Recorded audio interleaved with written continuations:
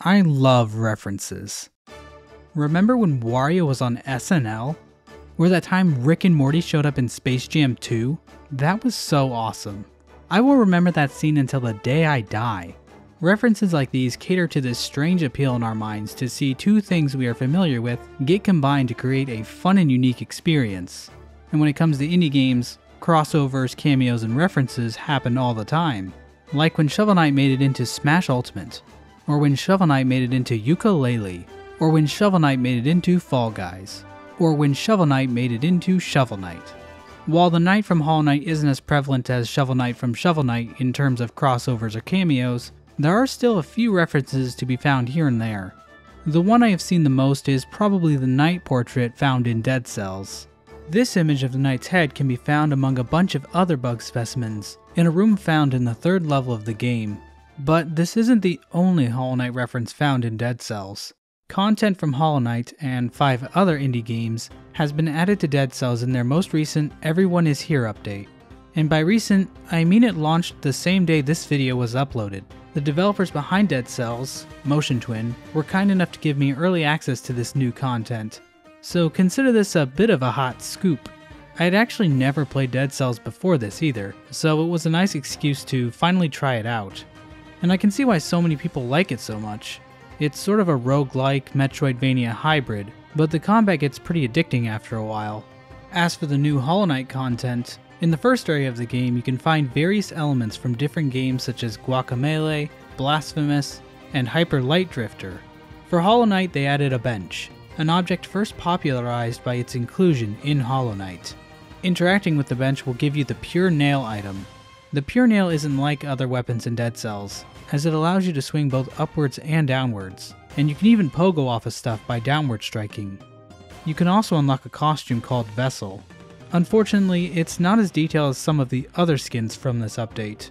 I'm not sure if this was a limitation from Team Cherry, or if they decided the knight's proportions just don't work well on a full-sized human body. Regardless, it's still a pretty cool skin, and this is easily one of the most involved Hollow Knight cameos in this video. Another well-known Hollow Knight reference is from Bug Fables.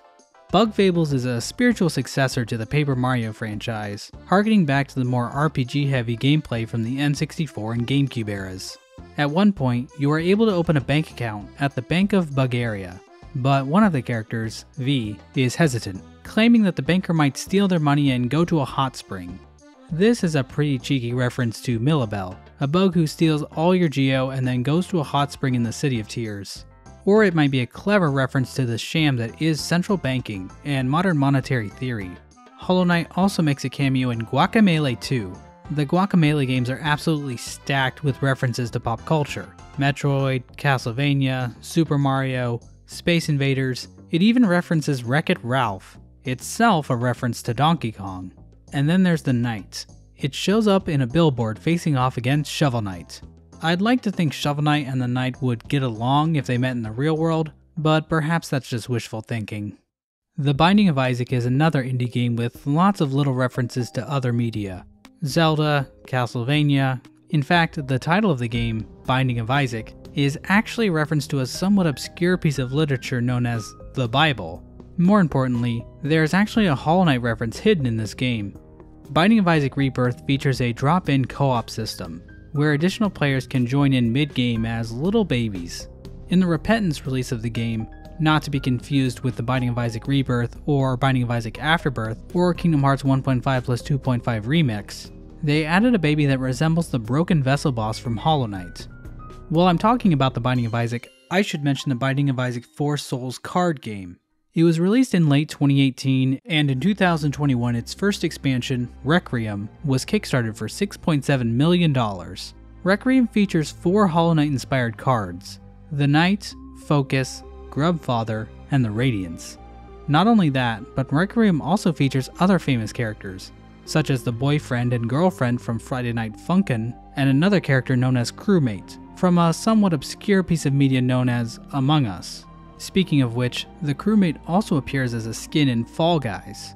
Another fictional character who appears in Fall Guys is Ninja, who also appears in Fortnite, which means we can now connect Hollow Knight to Fortnite. Of course, if they put the Knight in Fall Guys, we could make this chain much shorter. In fact, the Fall Guys Twitter page publicly reached out to Team Cherry to do a collaboration. But alas, as of yet, we still haven't seen a skin of the Knight in Fall Guys. This really bums me out because out of all the games for the Knight to make a cameo, Fall Guys probably makes the most sense. Another game to get a Knight cameo is Forager. Forager is an open world adventure game about purchasing and exploring islands for challenges and rewards. In the game, the player can find a skull chest, which gives them a custom skin of the Knight. There's also a Hollow Knight reference in another Metroidvania style game known as Grime. In one section of the game, you can find graffiti of both the Knight and Zote. Another Metroidvania, Fist, features a steampunk version of the Knight as a coating for a drill weapon. This art is pretty dope, and it's clearly drawn from the Voidheart artwork done for the console release of the game. There's a cheeky reference to the Knight in the DLC for the crazy wall jumping Metroidvania game Dandara. There's a Hollow Knight figurine sitting on a desk in one area. There's a sticker of the Knight in a platformer game called The Adventure Pals. In the deck building game One Step from Eden, there's a card called Ice Needle. The flavor text for this item seems to be a reference to a certain phrase that appears in Hollow Knight. And there are probably even more subtle nods to Hollow Knight in other games that I didn't find in my research. So let me know if I missed anything, and check the description for a link to the games I did mention, if any of them seem interesting to you. But it isn't just games that reference Hollow Knight. There have actually been a few TV shows to reference it as well. Amphibia is an animated Disney show about a young girl stumbling into a strange fantasy world, where she must learn how to live among bizarre new creatures, and maybe even make a few friends along the way. The show draws a lot of inspiration from video games like The Legend of Zelda and Chrono Trigger, and it's chock full of random video game references. There's even an Earthbound reference at one point. In one episode, the characters spend time getting combat training from some guy pretending to run a daycare, who tricks them into robbing a train, in one shot, we can see a weapon rack with a few different swords on it. At the top, we can see what appears to be the sharpened nail from Hollow Knight, right above the Master Sword from Zelda. But Amphibia isn't the only show to reference Hollow Knight like this. The Owl House is an animated Disney show about a young girl stumbling into a strange fantasy world, where she must learn to live among bizarre new creatures, and maybe even make a few friends along the way. The Hollow Knight reference in Owl House is actually pretty blatant, as it appears in the opening credits of the first season. There's one shot in the opening where this dog thing, named King, is standing in a pile of plushies. There are a ton of references in this one image. There's the fourth angel from Neon Genesis Evangelion, there's the Ohmu from Nausicaa of the Valley of the Wind, there's that annoying ass cat from Sailor Moon, there's that annoying ass penguin from Digimon, there's a giraffe, which is a reference to a somewhat obscure continent known as Asia, there are even references to Bosch's famous painting from 1510, The Garden of Earthly Delights. And of course, the Knight also makes an appearance here.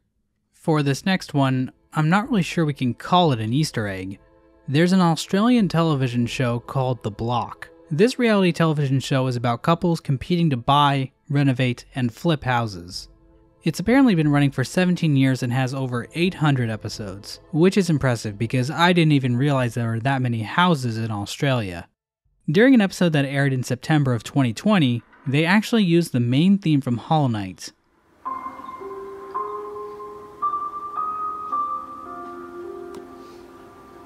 This wasn't a reference. They weren't talking about Hollow Knight. They were just using the song. Now, I don't really have any hard evidence for what happened here, but from my understanding and from what I've heard, this wasn't any sort of copyright infringement or anything. It has to do with music rights in Australia. Due to the small size of the country's entertainment sector, rights holders will allow one another to use their music, within reason. And we can keep going down this rabbit hole if we want. Like the Knight cameo that appears in the Brazilian comic series Turma da Mônica, alongside Shovel Knight, a green elephant version of Gandalf Obi-Wan Kenobi and Mace Windu, and the Black Knight from Scooby Doo.